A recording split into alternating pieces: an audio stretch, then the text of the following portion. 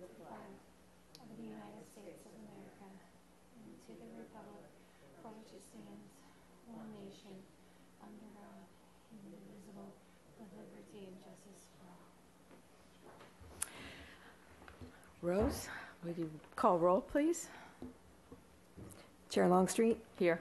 Vice Chair Clark, Commissioner Cavazos, Commissioner Lesnar Buxton, Hugh. Commissioner Martinez Cohen, Here. Commissioner Armbruster, Okay, changes to the agenda. We have one change. Chair Longstreet, uh, we would like to take item eight after your consent items. It is an interview and appointment for the Arts and Crafts Show Advisory Committee. Um, Timothy Cardy is here, so we'd like to take it early if that's okay. We will take that early. Thank you. Uh, Written communications, do we have any?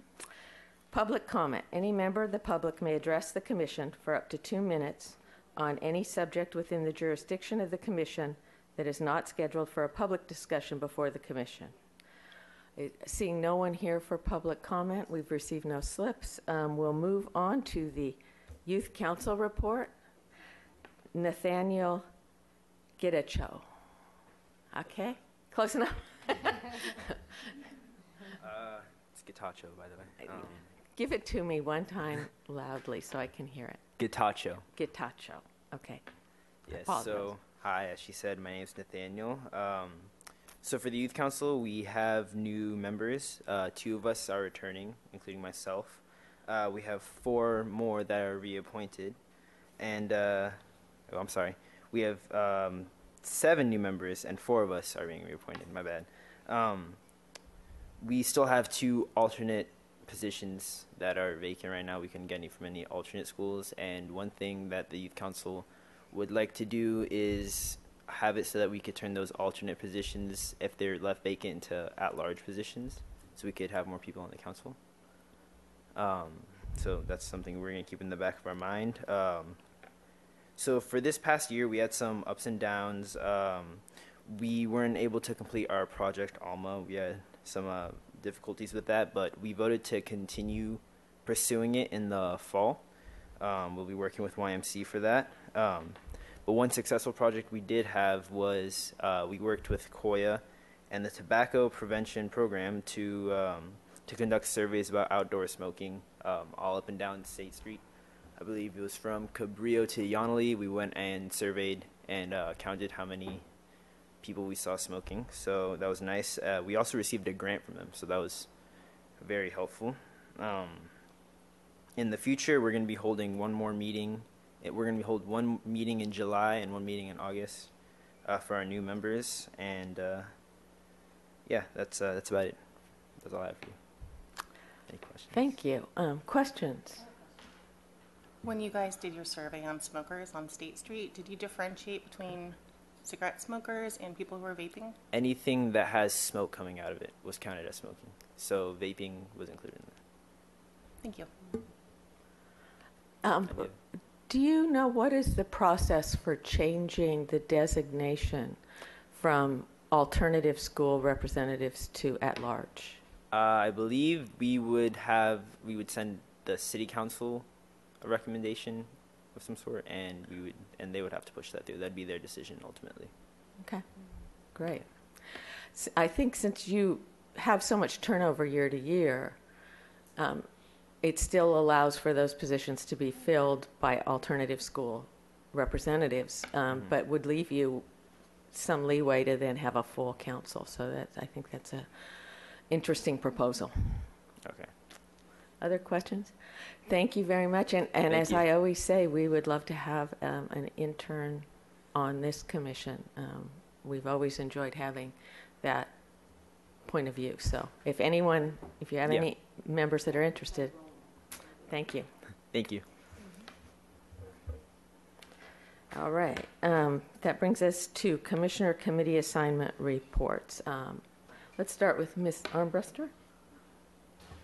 I attended the uh, golf committee meeting uh, this month, and um, they discussed uh, the summer golf numbers, and um, things are looking good right now.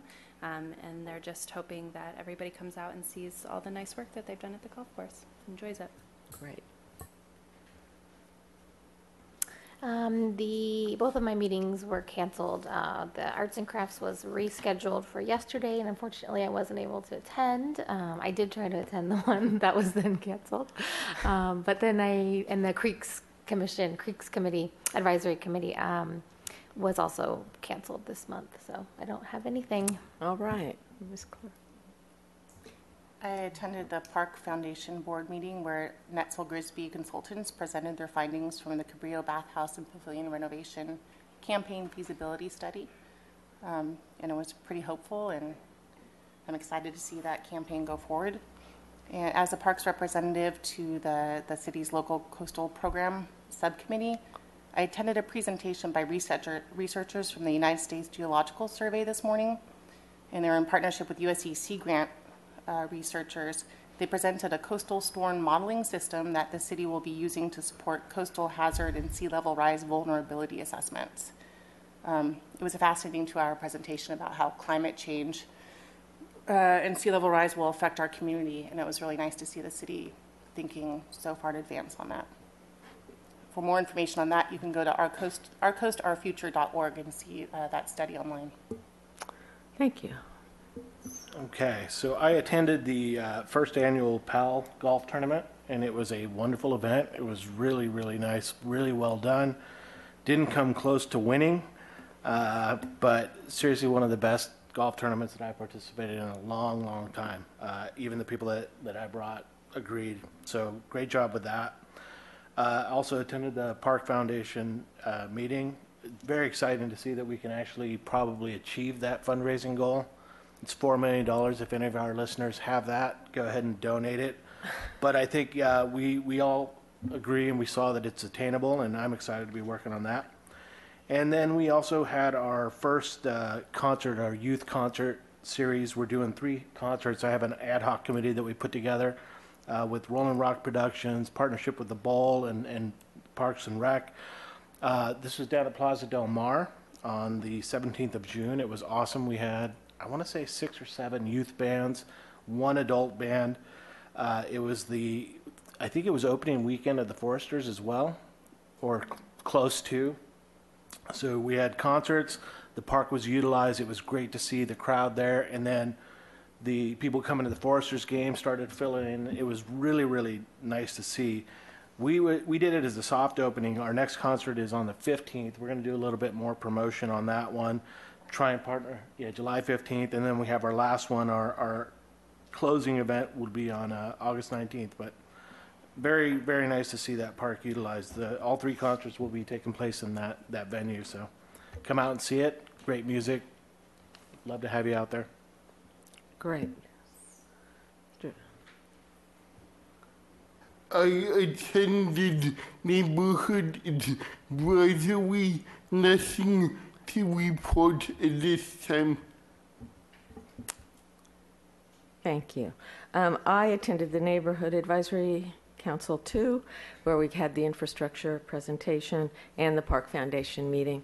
Um, I also, I, um, it, it had, doesn't really do with Parks and Rec, but I attended this um, Santa Barbara City College Neighborhood um, Outreach Task Force and met the new SNAP officers, which have been hired by the city to um, do noise enforcement, and they're city college students. So um, it was interesting to meet them. They're great young people, and they're having an effect in our neighborhood. So that's been good. All righty, that closes um, our assignment reports. And do we have any commission and staff communications? Okay, so we are to ceremonial items, employee recognition. Zachary. Chair Longstreet and Commissioners, we had two Parks and Recreation employees that were recognized at City Council this month. Steve Biddle, who is a Parks Supervisor in the Parks Division, um, got his five-year pin, so it's his first five years of hopefully many more five years.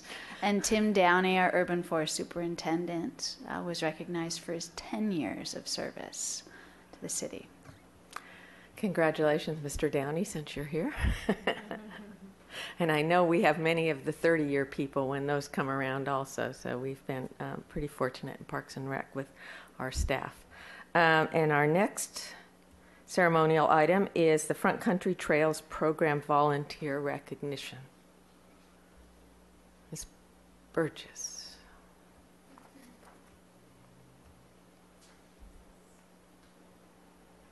Okay, hello, Mandy Burgess, City um, or Administrative Analyst for the department, and I have the privilege of honoring two of our um, trail stewards and groups today that really uh, put a lot of time and effort into enhancing our trail system. And I want to, before we recognize them, just give the commission a little bit of background and illustrate some of the tools that these groups use to help communicate with the agencies and coordinate our volunteer uh, trail organization uh, or volunteer trail events. What am I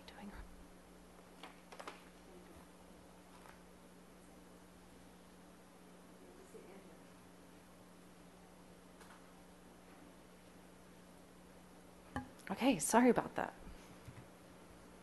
Okay, so when we talk about the front country, we're really talking about the front range of the Santa Ynez Mountains. Um, so, what we're looking at when we look from the city up to the mountains, you can see the trail names up ahead. On the western side, we've got Arroyo Burro Trail, and all the way down on the east, Romero Trail and Romero Road um, up above uh, Montecito. There's 11 trails, uh, designated trails in all, 35 miles, over 35 miles of trail that are really heavily used by visitors and our residents to bike and hike, and, and it's a really well used, enjoyable resource in the area. Uh, jurisdictional oversight is by the city, county, and forest service. And a number of years ago, a cost share agreement was put in place to help financially support the initiatives and actions of uh, the agencies. Um, the historically and certainly today, um, the primary uh, heavy hand here in ma- trail maintenance is through our volunteers and organ- organizations like um, those that we'll recognize today. Um, and uh, we're very fortunate to have them as a resource in this area. Uh, in the past, uh, it was the agencies who would be uh, invited to some of the uh, larger trail events, State Trails Day, National Trails Day, and, Pu- and National Public Lands Day. A number of years ago, uh, the agencies dedicated the resources and staff and financially to uh, hold those events, and city staff, on behalf of the agencies, really coordinate in conjunction with those volunteers and make those three uh, community events happen. So a number of organizations do work in the in the area. They all have their niche and their kind of expertise. Those are listed up uh, here.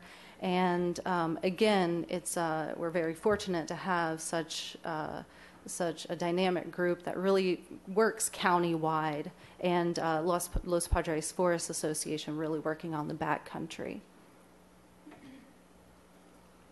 Um, so we are here today to recognize the Santa Barbara Mountain Bike Trail volunteers and Dave Everett of the Multi-Use Trail um, Council.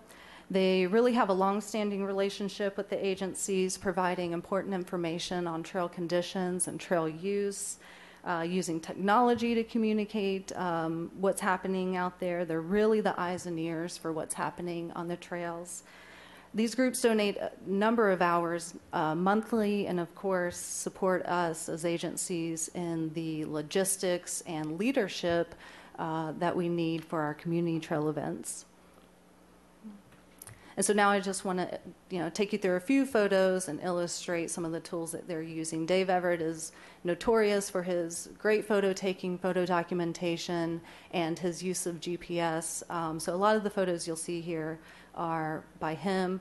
And this isn't just in the context of a, a, an event, it's also after a storm event, after wind events. We have down trees, we have trail erosion, we have brush that grows up and over. And they're picking up the phone, they're sending us emails and illustrating the point with, you know, photos to help. Oftentimes, uh, Dave or Santa Barbara Mountain Bike Trail volunteers will go and take care of the issue, you know, notify us that it's taken care of, or sometimes, um, you know, bring us into the fold as well.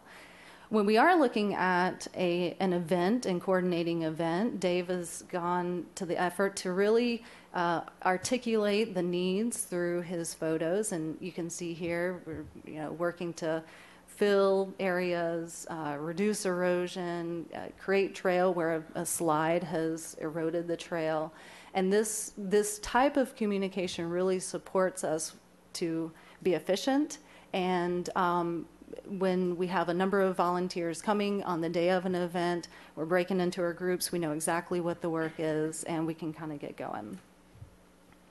Dave also uses his, um, his GPS skills. Uh, this is a, an example from uh, June 3rd, the National Trails Day that we recently held up on the West Fork. Um, and he's just documenting. He's he's going up the trail and he's documenting where the slides occur, where the where we need brush cutting, and again, uh, just just really helpful documentation that we can look back on, you know, for years. Um, down the lower left, you'll see the National Trails Day flyer. Dave is also our go-to uh, for posting all the flyers at the trailhead. So, and we often get uh, volunteers who ha- know about the event from posting them at the trailhead, and he also takes them down when we're done.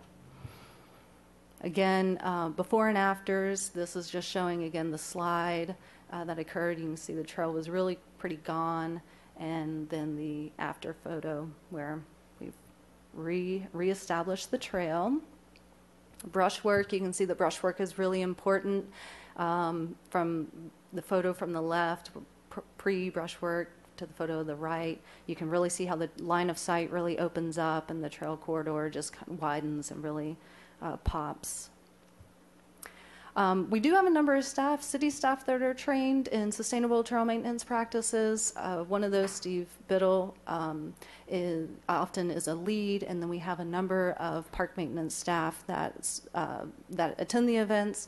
They're often using some of the heavier equipment that we wouldn't want to volunteer to use. Um, our forestry crew is there to help us with any of the tree work, the larger limbs, and tree work that we need. And again, it's typically Steve and I that are helping the uh, to coordinate the three uh, main events, do the outreach, coordinate the resources from our Forest Service and county counterparts, and then working on those logistics with the food and beverage. So. And really, that's it. Um, again, we want to thank Santa Barbara Mountain Bike Trail volunteers. We have Mike Tarpey here on, behalf, on their behalf. Um, we also wanted to recognize the Jacobson family. They've been uh, part of the Mountain Bike Trail volunteers for a number of years. They're physicians and were on call and couldn't make it at the last minute. Um, and then we have Dev- Dave Everett here of the Multi Use Trail Coalition. So we thank you both. Okay.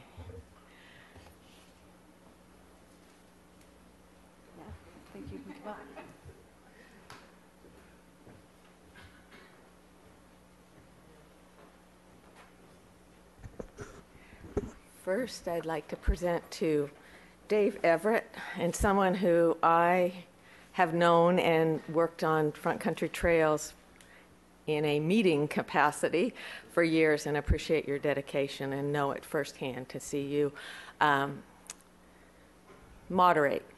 I think that's what I always appreciated was that you represented well and um, when things got hot you were able to be kind of the cool head in the room oftentimes and um, help get us to a conclusion. So I really appreciate it. Thank you so much.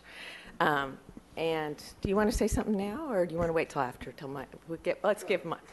Mike, yes. And I know that the the work that you do, this is Mike Tarpey, um, wouldn't get done if we didn't have the volunteers, and we appreciate all of it. Um, thank you very much for everything, and we'll let you say. It. Oh, no, thank you. Thank you, uh, Commissioners. It's an honor to be here, and I'm just honored to be able to uh, assist in keeping the trails in such great shape. And, you know, I want to thank especially City Parks, Jill and Mandy and Steve, who have been really holding things together. If it wasn't for them, this whole program, I hate to say it, would probably be lost. But going strong on eight years, and we're going to keep going. I look forward to a lot more trail work, and uh, I appreciate this honor. Thank you. Thank you. And I think there's somebody else we want to mention. Um, our own commissioner, Nicole Clark, um, participates quite quite a bit in trail maintenance, and also you've done a lot of trainings, haven't you?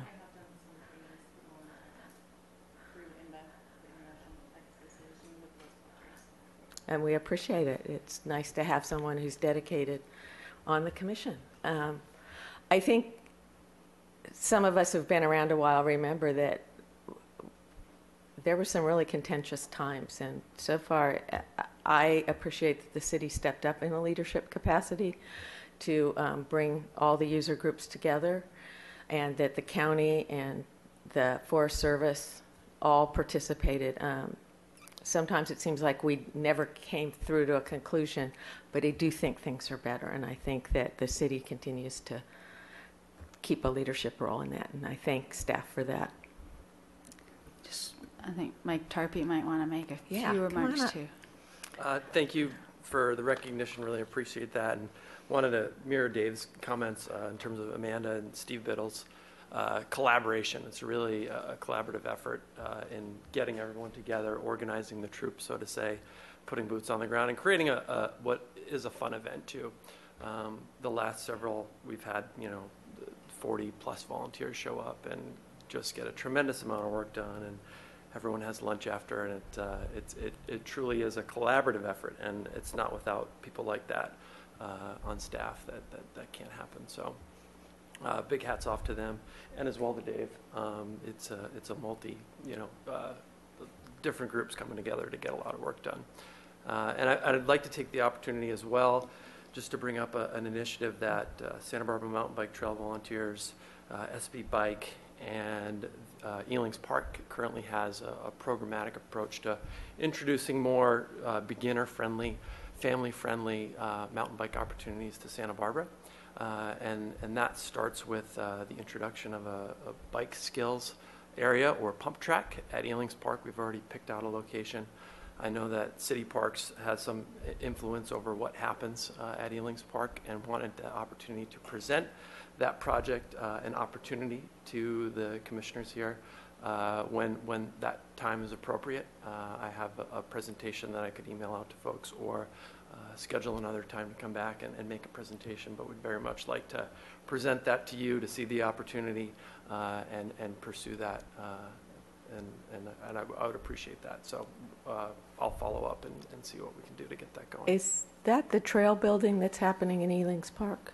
There's no trail building, uh, new trail building currently. No, in but there's Park. maintenance and Uh, there, some- there's maintenance, and that's that's uh, SBMTV i- is mostly doing that. Elings has actually stepped up in, in recent years, particularly this year, uh, in recognizing this the opportunity um, for trail use at Elings, and their staff has been doing a lot more of the maintenance along with us, uh, and so that's been great to see them take some ownership of that. But uh, but this would be a, a, new facility that, with the, the focus of uh, increasing uh, opportunities to, to uh, more entry-level bike, mountain bike skills. Uh, it'd be a multi-use facility, but, but really with the goal of um, increasing that opportunity. We have what are world-class trails uh, as it pertains to hiking and- mountain biking in Santa Barbara, but those are very steep, rugged, rocky trails. Um, one of the reasons they take as much maintenance as they do is, is because of the nature, and that has a very high entry level for folks. So, families looking to get into mountain biking, there's there's not a lot of opportunities. Uh, beginners to the sport, not a lot of opportunities, and uh, children as well. And so, this is an effort to do that. We have a plan, and we'd love to present that to you guys at some Okay. point. So. That's great. Uh, My, my ex um, has taken our five-year-old grandson up there to do some, I guess, trail maintenance work at Elings. Yes, That's and- what they and- do on and- Thursday and he- afternoons. and and, uh, and Don has been a, a, a big Yeah. help over at Elings Park as well. So, Yeah. um, Well, he's, anyway. he's, he's teaching the little. so there you go. Yes, The next good. generation. thank you for the opportunity, and uh, I'll, I'll follow up with with uh, next steps perhaps. Thank you. Thanks so much. Thank you. All right. Chair Longstreet, uh, Oh, yeah. did you want to say? Yeah, I just wanted to say that um, my family and I have gone to Lompoc. They have a family-friendly bike park there that does have opportunities. There's little kids on the push bikes learning how to get out there on those trails, and I think having an opportunity like that in Santa Barbara and not having to drive an hour plus to get to it would be really exciting for some families in this community. And my last question, my last question or statement was, if if people watching this love to hike and they love to be on our trails and they want to be a part of the city and Dave's and SBMTV's work, how would they find out about events that are coming up? Uh, So SBMTV has a website. You can visit our website as well. We have a, a Facebook group. Um, uh, if, if you're on Facebook, we have a, a mailing list as well. So best way to stay informed is to go to our website, sign up uh, for email newsletter. Uh, you can be informed that way. Facebook as well. Um, that's Santa Barbara Mountain Bike Trail Volunteers, and um, and then uh, and then Dave as well has a, has an email list that. Um, uh, that we we'd be happy to forward any of those folks over there as well. So, Perfect, yeah. thanks. Uh, Commissioner Longstreet and Chair Clark, uh, or I'm sorry, uh, Commissioner Clark, um, they can also contact me uh, through uh, my email address, a burgess at santabarbaraca.gov. When we are holding events, um, and a number of these organizations use Meetup as a, uh, a hub.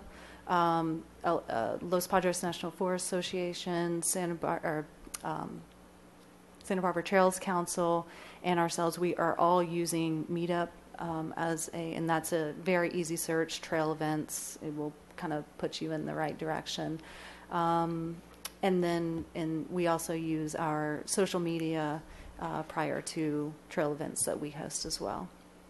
But please, um, if you're, if as a first line of defense, you can have folks contact me. Okay.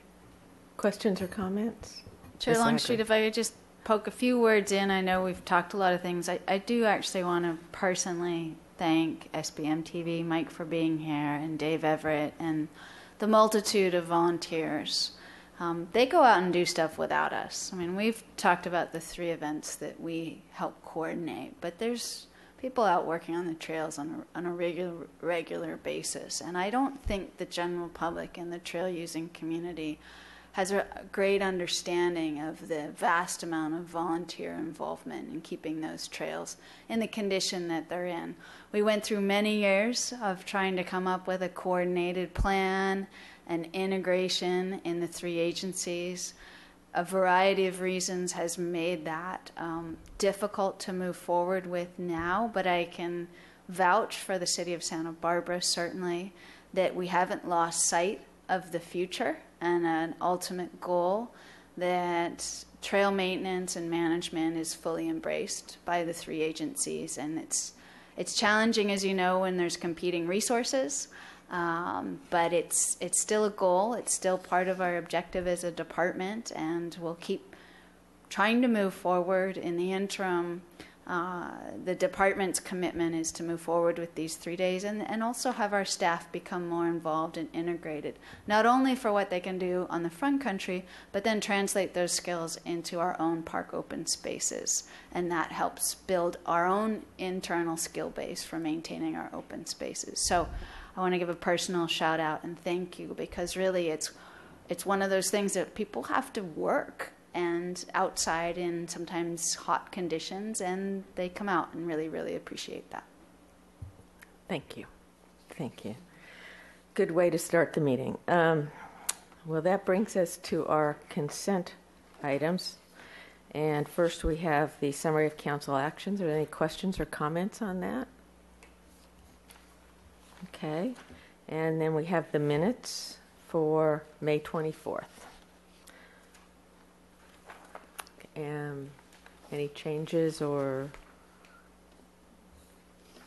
I was not at that meeting. I did watch parts of it, and um, good job, everybody. okay, is there a motion to um, approve the minutes? I'll make a motion to approve the minutes. Second? Second. All righty. Any discussion? All in favor? Aye. Opposed? And one abstention. I'll abstain. Two. Two abstentions. Okay. Um, and so we are now going to move to item eight interview for the advisory committee.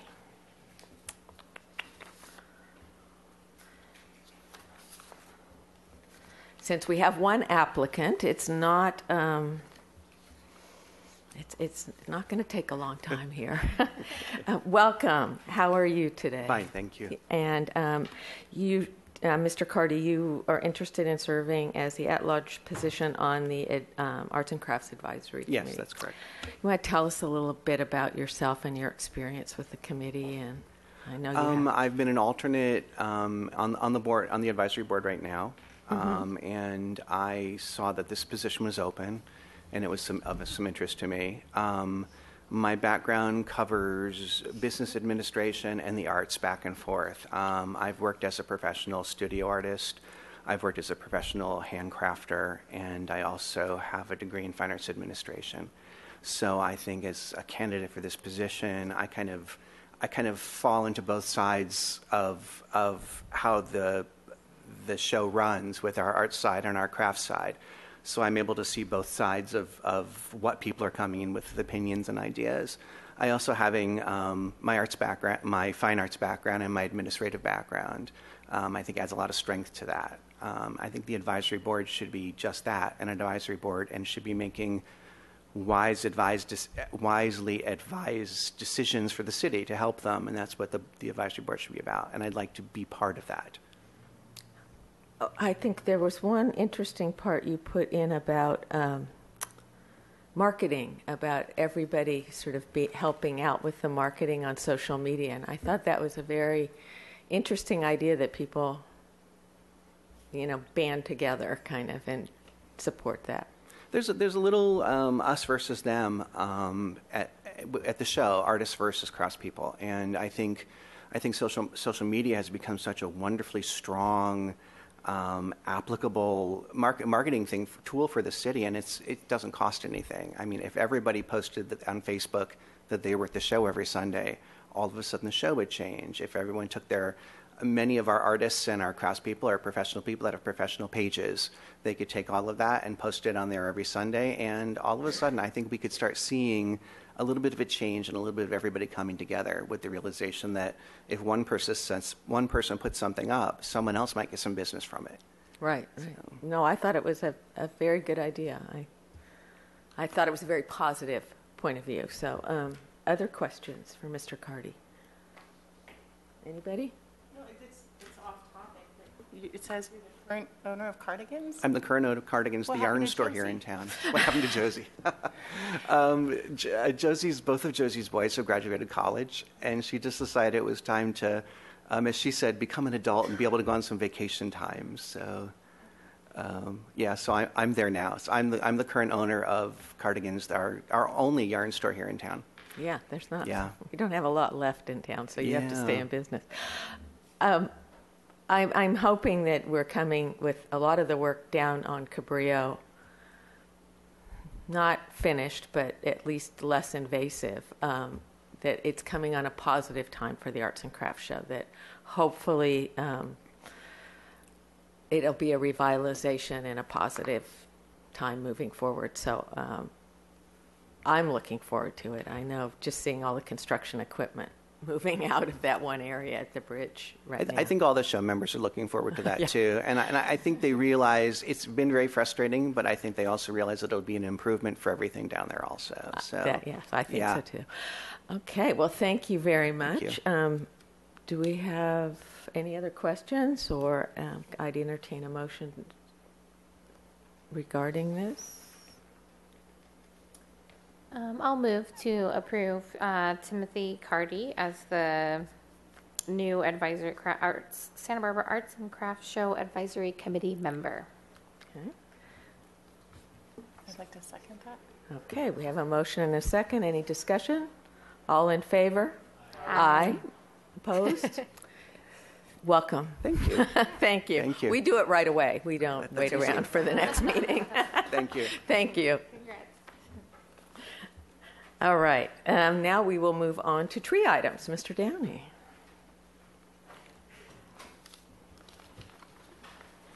Chair Longstreet and Commissioners, our first item is 420 Paseo del Descanso. Uh, It's a Mexican fan palm that is directly adjacent to the driveway. The property owner is interested in widening their driveway. It's currently only nine and a half feet wide. A little difficult to get in and out of, uh, so they're interested in increasing the width of that driveway. Um, The committee uh, reviewed this item. Um, The tree, uh, the Mexican fan palm is not the currently designated tree. Um, There are two currently designated, the Blackwood acacia and the uh, Canary Island pine. Uh, The committee uh, felt that the driveway widening, uh, along with it being not the designated tree, uh, would be appropriate reasons to remove the tree on the condition that the applicant replace uh, with at least one designated street tree. Um, They are planning to install some landscaping, including some fruit trees a little farther back, but the committee felt that a street tree was important at that location. Okay, thank you. Are there questions? We do not have a speaker slip for this item. Um, Comments? Motion?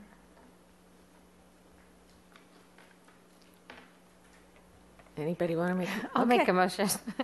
Um, Okay. Yes, I would like to make a motion to concur with the committee's decision to approve the removal on the condition that the applicant replace the palm with one designated street tree.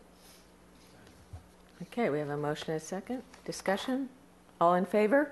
Aye. Aye. Opposed? That passes unanimously. Thank you. Chair Longstreet and Commissioners, the next item on the agenda is 427 Verano Drive. Um, The applicant wishes to remove uh, this evergreen ash tree and a coast live oak. Uh, The ash tree is uh, pretty effectively destroying the side of the driveway.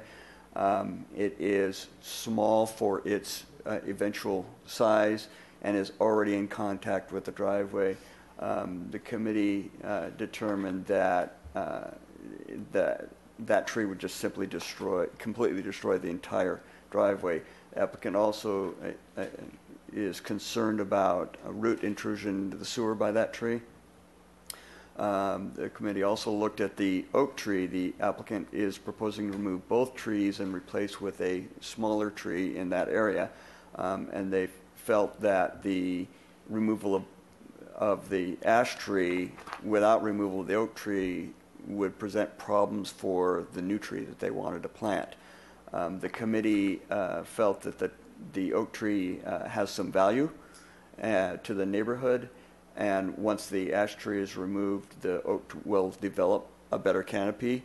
Um, And uh, so the recommendation is to partially approve uh, this application, approve the ash tree for removal, and deny the oak tree. They did comment that uh, it wouldn't necessarily be necessary to plant the replacement tree if the oak were retained. Okay. Uh, I have a question. When I was out there looking at the site, the oak tree, does it, is it going to fill out? It looks like it's pretty deformed being where it's planted. The, uh, the oak tree was pretty inundated with lower plant material before that they've since removed. Um, so it developed in an unusual way, but once it gains more light access from the ash removal um, and doesn't have that competition from the undergrowth, um, it, it should develop a, a reasonable canopy. Okay, thank you. That answers my question. Any other I have a questions? question. So the oak tree is the one, the small tree on the left in this photo? Is that correct? Yeah. That's correct. Okay. It's hard to distinguish it can't- as a yes, I- I- separate tree. Yeah. can't see. Um, The other, oak tree is right here. Yeah, that one. Okay. That's what I thought. Any it was. other questions or comments? Okay, a motion?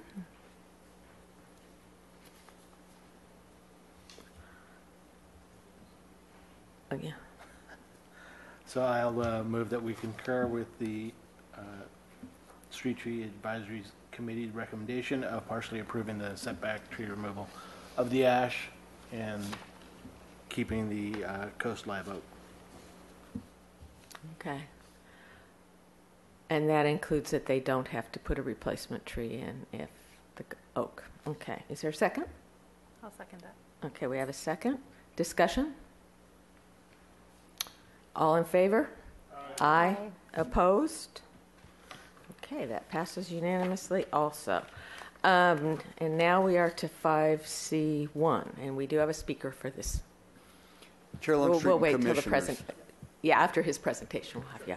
Chair Long- Longstreet and Commissioners, at 1627 Calle Cañon, the, uh, the applicant is requesting to remove a coast live oak tree.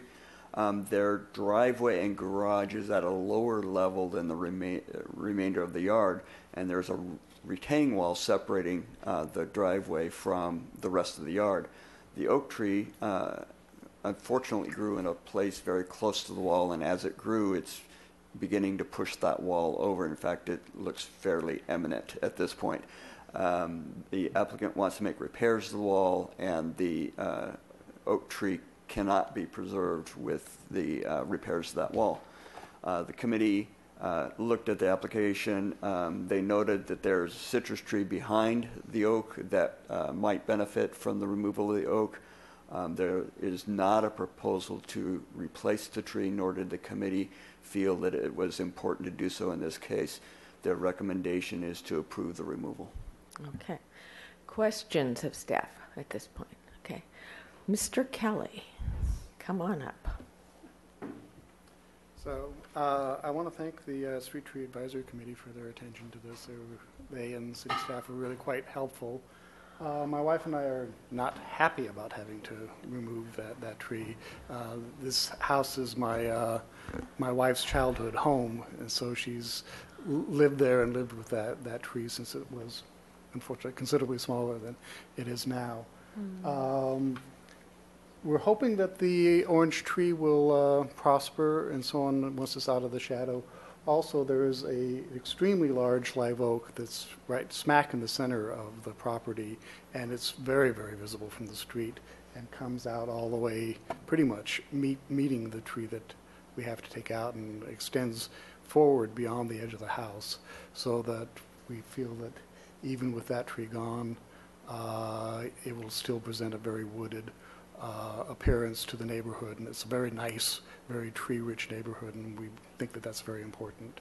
So I'm available to que- for questions if you have any. Thank you. Good. Thank you. Um, no, it is a very nice, beautiful area, and you have lots of great trees up there. I drove by there today. Um, are there any questions or comments? And I would entertain a motion. Come on, guys. you can do it. I'll, I'll make a motion to um, agree with the Street Tree Advisory Committee's recommendation to um, approve the removal of the Coast Live Oak at 1627 Calle Cañon. Second. Okay, we have a motion and a second, and I would say, yes, we agree that that is a sad tree to lose, and you will miss it, but um, that, sometimes it happens. Okay, all in favor of the motion?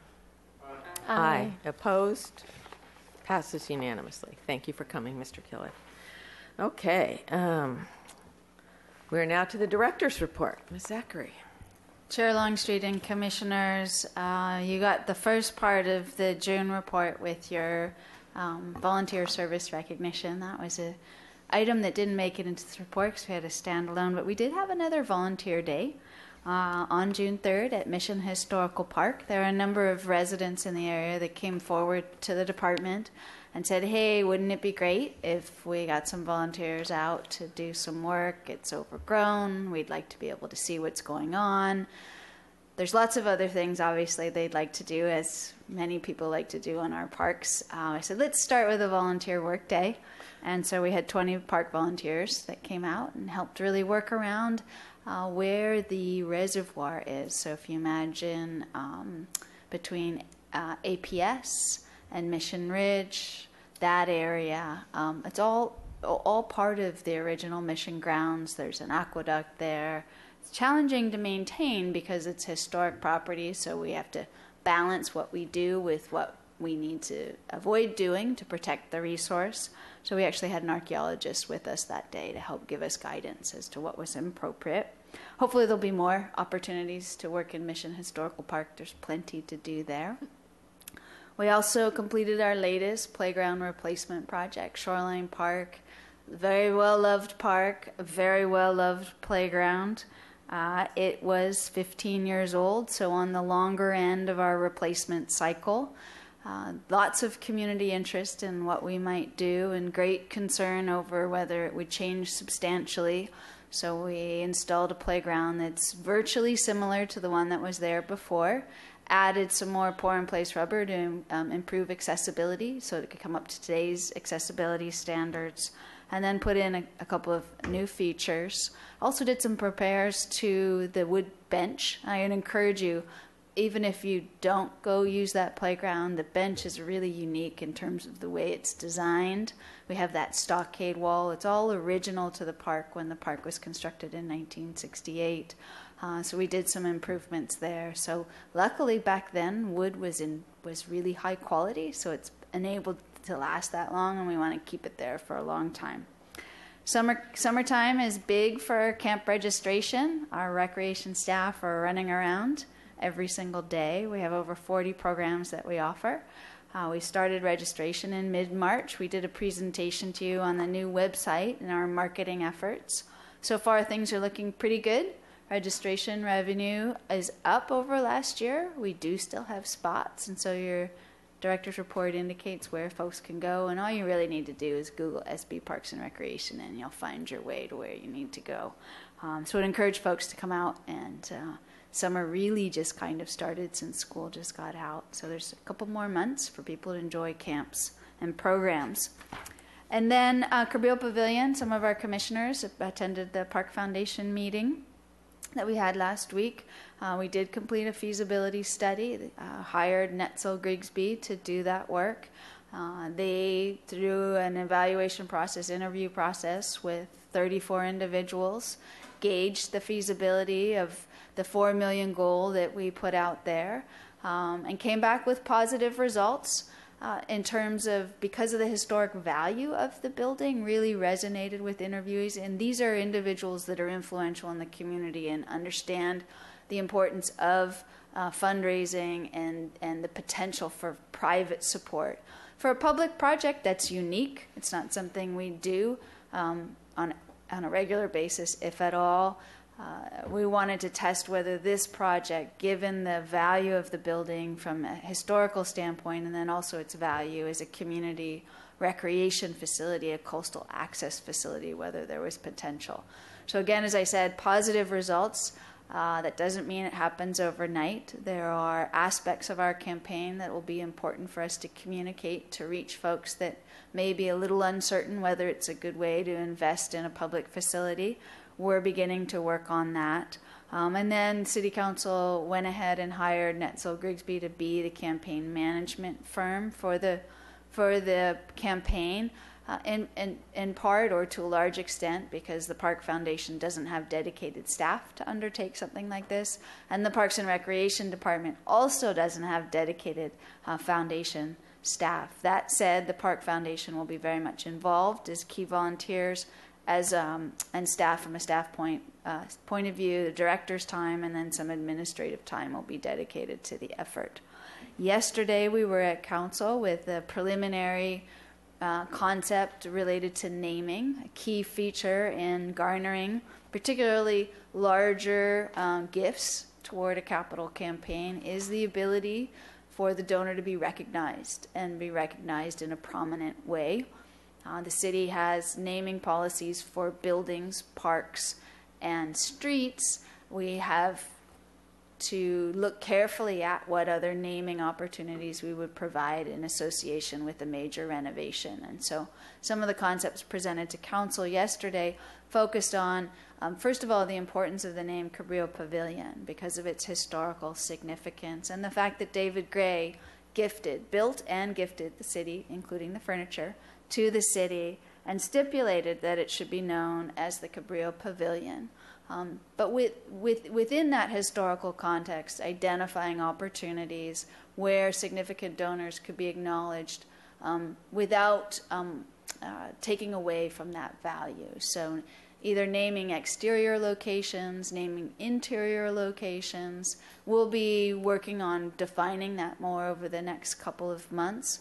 But the response from City Council is go ahead, come up with a plan, bring it back to us, and and you know keep it within uh, reasonable parameters, yet also, uh, but also provide um, an incentive uh, for potential donors, because we heard that through the feasibility study that it was important.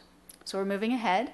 As we get closer to having more to present on the project, I'd be happy to do that. I can say this last week we've been talking about project schedules, and so uh, we're very much hoping we will be through the building plan check process by the end of July, have a building permit in hand, which means we would then go out to bid in August. The bidding effort would continue into about mid September. Then there's lots of steps to take before we'd be at council for contract award, but we're on schedule. The building will close after December 31st. 2017, and we hope to be breaking ground on January 2nd, 2018, for an 18 month construction period. So the fundraising will have to continue while the work effort moves forward with the construction.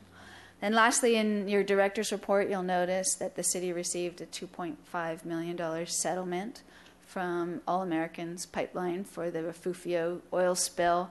A portion of those funds um, it's split uh, uh, 1.5 million to Cabrillo Pavilion renovation and a, um, the balance to the Thousand Steps renovation project.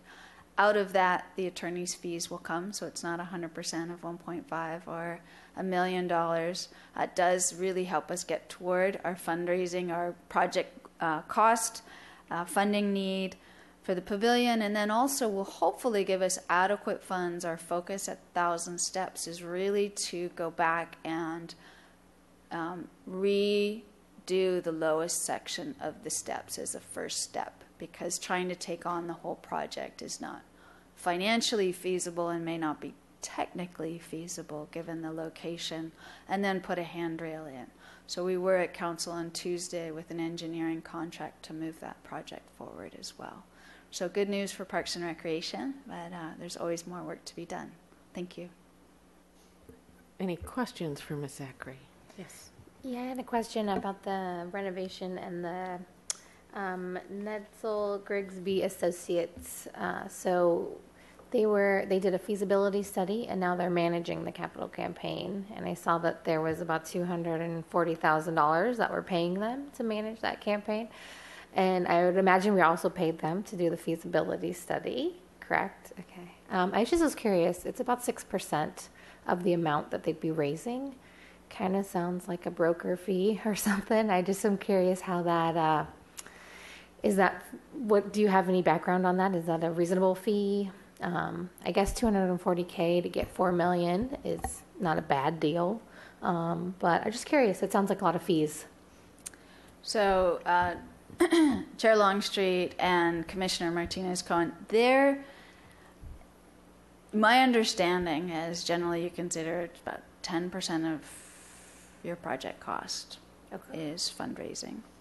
Um, when we look at the structure that we would need to create to actually have a full time campaign manager for two years plus support staff, um, we're beyond that amount. That number, okay. Um, what we have with Netzel Grigsby, and, and, and clearly in a nonprofit environment with a development director that has a capital campaign and a very robust board of directors, it's a different scenario. Mm-hmm. The city's not in the business of doing this type of campaign, and it's not something the Park Foundation has engaged in.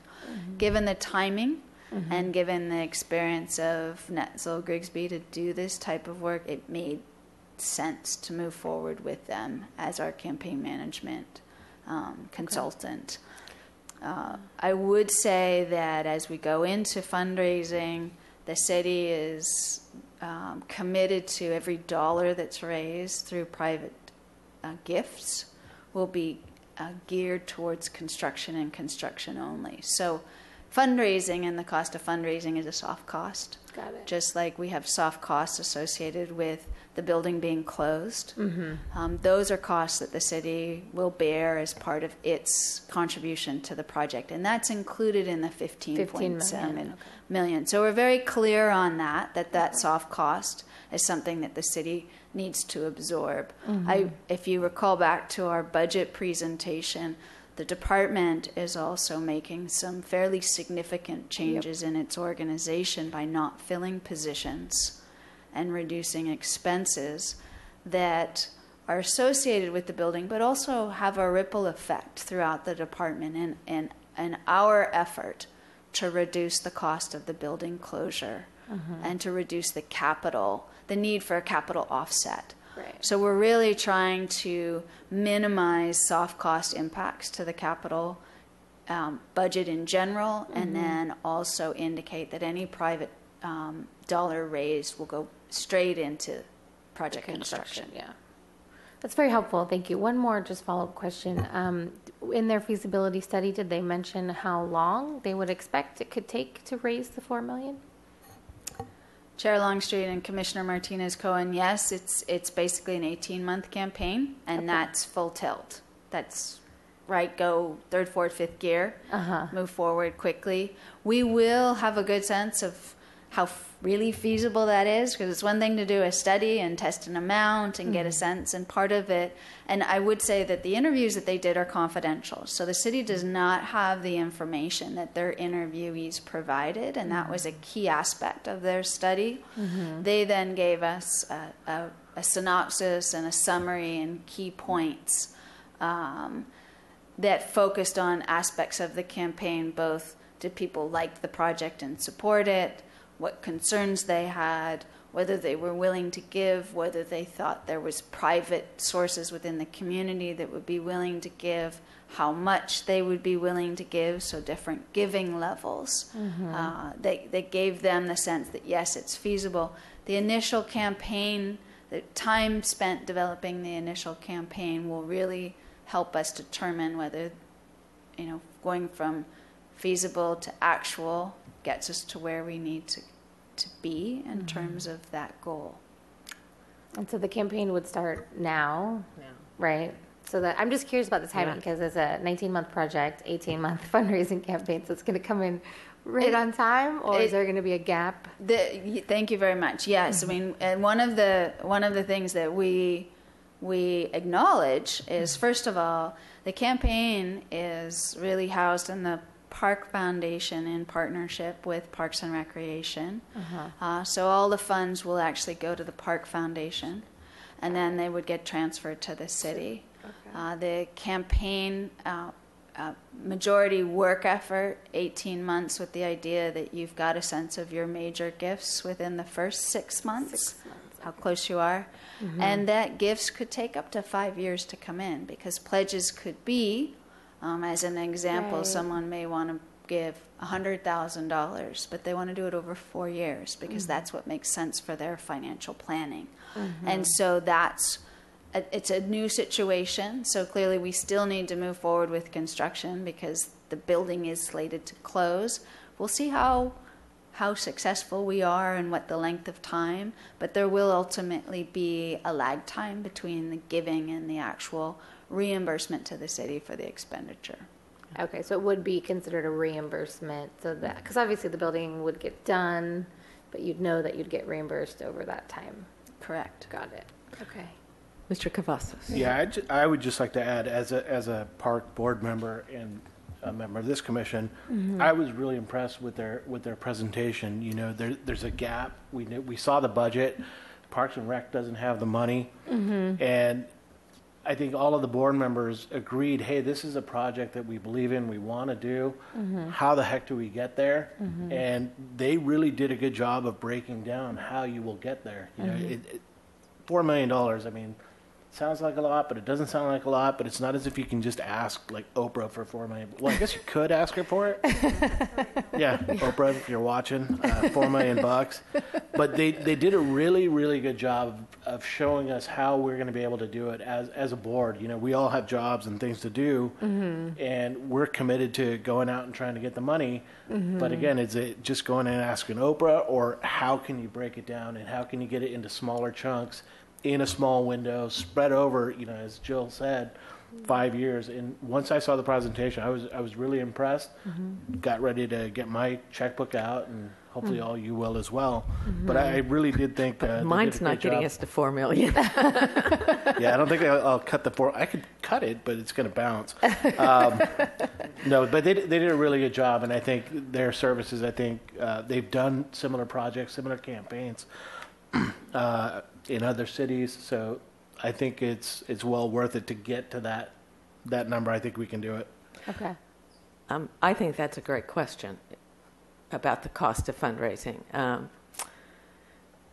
and when you, yeah, I- I hadn't really thought of it this way, but if you look in our community and we have development directors all over the place of varying qualities and experience for these kinds of things, and that what Mr. Cavazos said is very true. They come with a very um, tried and true method.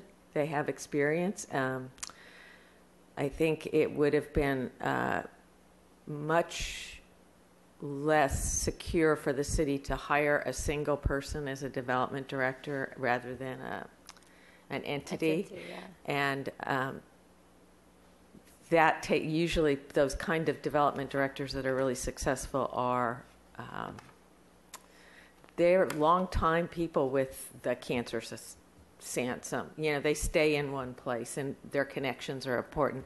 They don't transfer from entity to entity. So I think we're, we have a limited pool to, to, of um, individuals and it is, it's pretty risky to hire that way. So I was um, happy to see that. And I think you're right. I mean, if you look at an employee costing a 100000 a year for that level, that adds up fast. so um, I'm excited to see this get off the ground too and um, committed to it. So thank you very much. Good presentation. Um, yes, Ms. Clark. I just had a, a quick um, comment on the summer camp registration. I, I like to follow the Parks and Rec site on Facebook, and I was really impressed because I saw I saw them post something about the chess camp that's coming up, and there was some parents who commented that sounds really neat, and then they looked it up and they're like, well, that the hours are too long for me, it's too expensive, and whoever's running that page said, here's my number, call the department, we'll help you find something that fits your kids' needs and the hours and your budget. I think whoever did that deserves a shout out because they're, they're really listening to the community about camp. So, whoever that was, thank you. Good. Good. Nice to hear. All righty. So we are now on um, item seven, Creeks Division 2017 report. Hit it again.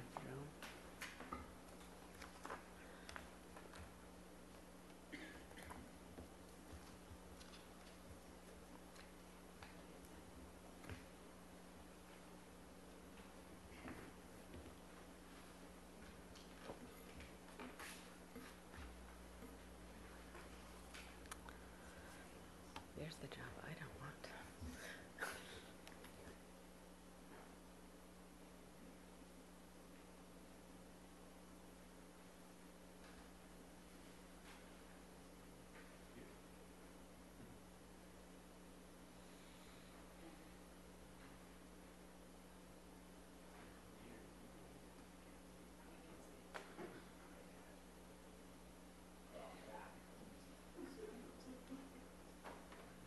Sorry about that.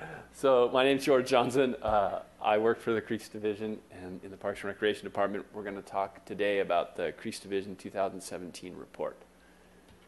So here's a uh, view of the cover of the of the physical report. It, it's both in Spanish and in English, and it covers. It mostly focuses on the last five years, the achievements the Creeks Division has done, but it also includes some information going back all the way to 2001 from the beginning. And so first I'll talk about water quality improvement. That's uh, a pretty big subject area, area we work a lot on. Obviously, um, we've done, I'm going to try to go over some of the highlights. You can see in that little box there, we've taken almost 70,000, I mean, 100, almost 11,000 samples of, uh, in our creeks and, um, waterways here. And so we've done a lot of sampling to try to figure out what the problem is and, and how we can fix it. Um, right now, we're focusing more on doing storm sampling and individual projects rather than broad sampling throughout the city. And uh, like at the bird refuge, we have a long-term monitoring effort there for the last four years to see what's going on with that um, area. So anyway, that's one big part of what we do. Um, uh, go, I'll go back. We also do water quality enforcement. We have a hotline for if people see spills or anything on the streets, uh, someone discharging something that doesn't look good for the creeks or the storm drains. We go out. We have an officer who goes out and investigates that. If we can find the person, we try to educate them and give them a warning. And then if that doesn't work, we go on to fines from there. But that's been very successful. We've actually seen a reduction in the number of uh, illegal discharges in the city, so that's good. We also do work, uh, have contractors go out and remove physical trash that we get a lot of in the creeks. We re- remove up to 50 tons a year of that trash out of our creeks. So that's it's good and bad. It's nice that we're getting it out of the creeks, but it's a high number, and that we really haven't seen much improvement in the last five years, unfortunately. Um, we do some other sampling, uh, like neonicotinoid, neonicotinoids, or neonics for short. Uh, we've been focusing on that. It's a pesticide that we're finding in, in our waterways, which is unfortunate. And so we're working with the USGS service and, uh, and UCSB to try to find out where it's coming from and what effect it is having on our local creeks. So that's one kind of focus area we've been doing in our sampling. But um, that, that, that's kind of a summary of what we, what we do, water quality improvement. For stormwater infiltration demonstration projects, this is a big program we've been doing for the last five or six years.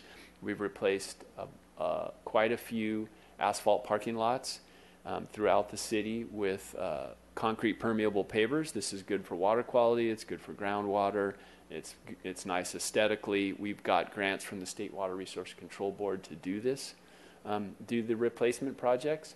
We've done them in oh, a number of parks McKenzie, Stevens Park, Oak Park. Uh, we've done Alice Keck Memorial Gardens. We did some sidewalks. Pla- Plaza Veracruz, we did a um, alleyway, and we even did some at the Westside Community Center in McKenzie Park. And most recently, we, we completed one on Quarantina Street, and that and I'll talk a little bit more about that later as I focus on a couple of the, of the highlights. Um, creek restoration, you can see there we we put in almost 37,000 plants since 2001, so that's a lot of plants and trees. Uh, we're proud of being able to been being able to do that, put that many plants in. We've we've Im- implemented about six large creek restoration projects throughout the city. Some again in Oak Park, some at the city's municipal golf course, uh, on Mission Creek and the concrete channels. We did Fish Passage. So a number of uh, large restoration projects we've completed. Our most recent is in Barger Canyon. We did that in the summer of uh, 2016, and that was a very successful project. We restored over five acres and 2,000 linear feet of creek. So that was a, some of you may have visited that, but that's a pretty neat site out there. Um, so the other big area that we focus on in the Creeks Division is our community outreach and education. You can see a picture here of some volunteers, and you can see the number there. We've had over 6,000 hours of volunteer labor helping us pick up trash in our creeks, on the beaches, uh, plant um, plants in our restoration projects, and uh, replace and uh, clean our storm drain markers that try to educate people about not dumping into our storm drain system. So they've been very helpful. We also have a lot of other ways we reach out to the community. We go to table at community events such as Earth Day. We uh, have a whole Creek Week, we call it, where we focus on creek and water pollution and, and have a number of different events that people enjoy during that time. We do youth watershed education where we work with a um, nonprofit in our public schools to um, educate the kids about watersheds, and we've had over 3,000 students participate in that over the last 15 years, so that's been very successful. We have a clean water business program where we certify businesses that use proper methods um, in practices to make sure that water pollution um, from their business doesn't enter the creeks and storm drain system. We have 176 certified businesses we've done over the over the last 15 years. Then we do typical like media campaigns through TV and radio, what are called PSAs, public service announcements. And I'll highlight our most recent one in a couple of the next slides. And then just internet, social media, we've also entered that area to try to get out the word about what we're doing and what people can do to help improve water quality in, in our creeks and ocean.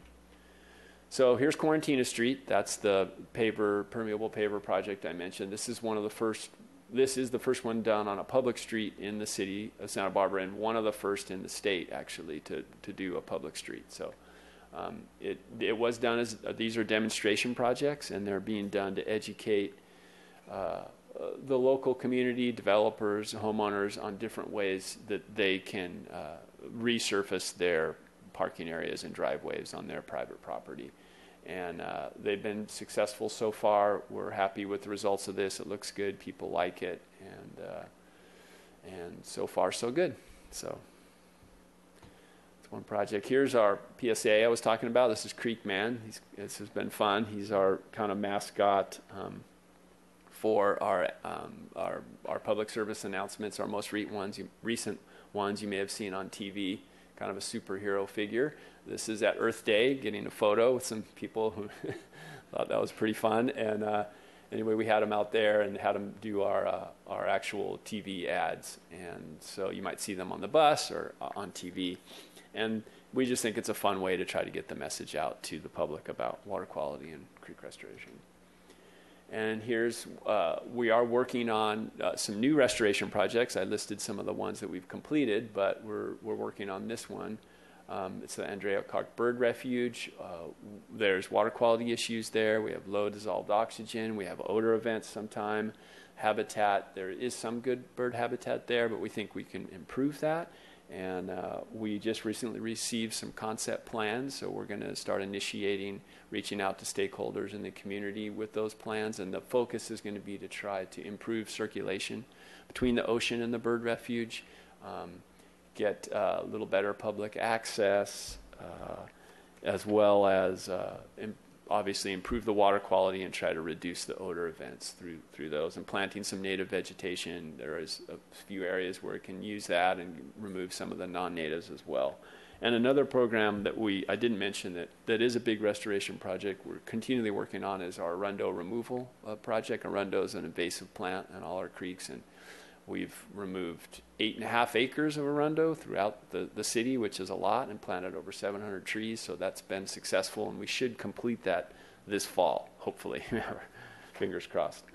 Uh, the other restoration project I'd like to highlight is Arroyo Burro Open Space, and that's uh, our newest open space park down at the on Lower Arroyo Burro at the end of Alan Road.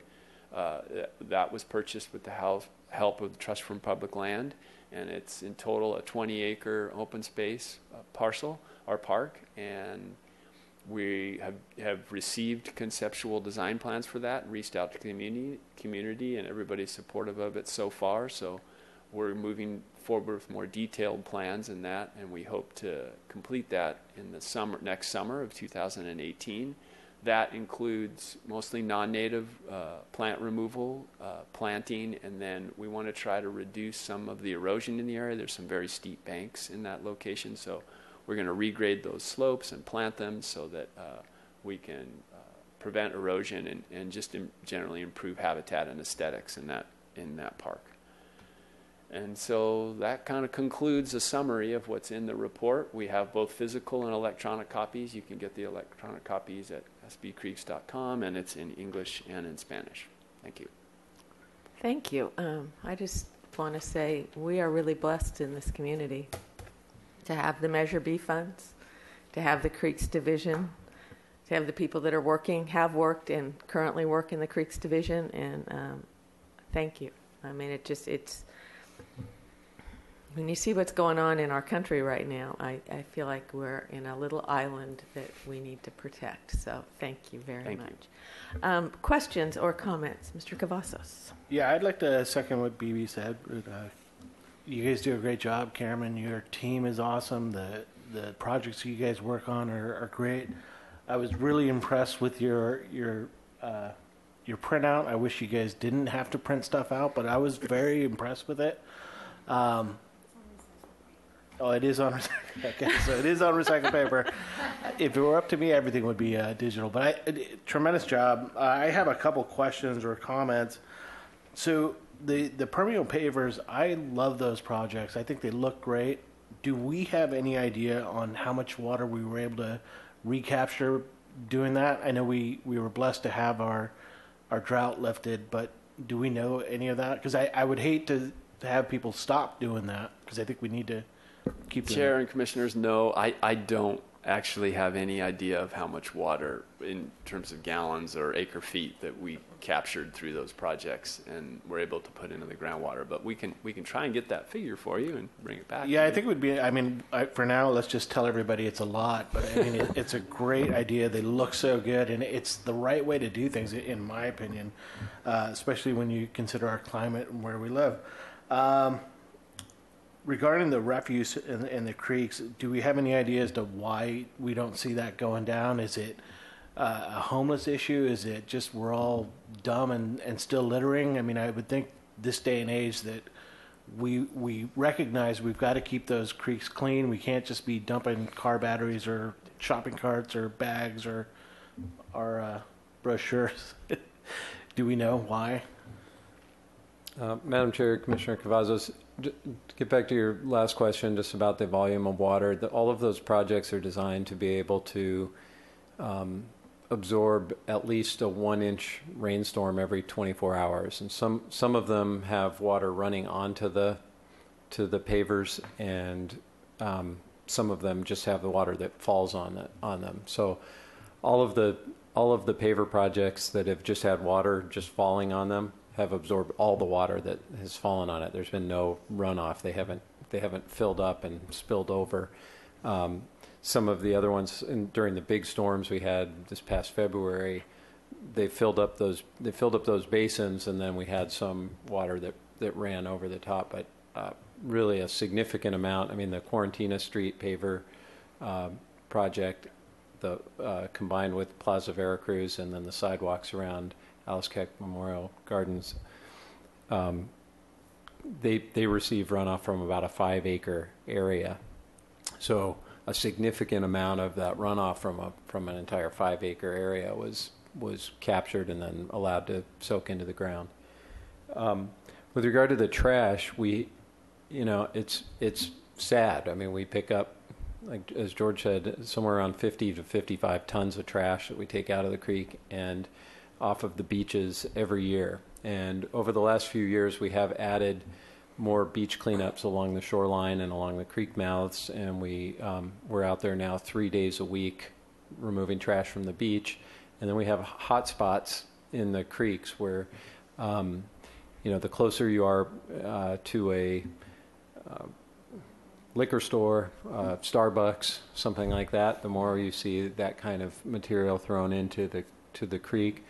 Uh, but uh, encampments are a significant part of that. And so we, uh, when we find an encampment or we're notified of one, we'll go in and we post the encampment and the person or the people who are living there take off and often leave everything behind. So we see less things like refrigerators and couches and things like that that we that we used to find 10 or 20 years ago in the creeks and but we do have tents, blankets, sleeping bags, things like that. So Creek Man has his work cut out for him. That's right. And then the last comment I have is really 36, 900 uh, plants. You couldn't find 100 more to get you over the top. 101 more. I, I would have donated 101 plants, but uh, no, really great job. You guys do a great job, uh, and keep up the good work. Thank you. Thank you. Other questions or comments? Great work. We look forward to the new projects. I, I think that the paver projects are amongst the most visible, and I think they, they're such an asset to the trees on Quarantina Street. What you were able to do to capture more space for those trees was really important. So um, that is a beautiful street to drive down now. Thank you very much. All righty. Chair Longstreet and Commissioners, since George is sitting here, I would also like to acknowledge that he is the longest serving Creeks Division employee. 16? Yeah. 16 years this summer. Yeah. 16 years this summer. So George is the master behind the creek restoration projects. He's touched everything. He's also done a tremendous job training new employees. As a supervisor, he oversees some of the staff in the Creeks Division. He brings a wealth of knowledge, and his longevity really brings strength to what we do. So I was the lucky one who got to hire him, and I'm really glad that he's still with us. So I wanted to Excellent. take the opportunity to thank him for his work. Thank you for 16 years' worth of work. You're welcome. Thank you. Great. Okay, um, I think that concludes our business for this week. Um, everybody have a good 4th of July and a safe one, and we will see you next month. The meeting is adjourned.